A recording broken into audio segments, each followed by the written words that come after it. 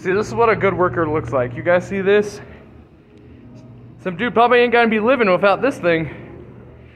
You know what I'm gonna do? I'm gonna be a good boy and I'm gonna go turn it into the manager.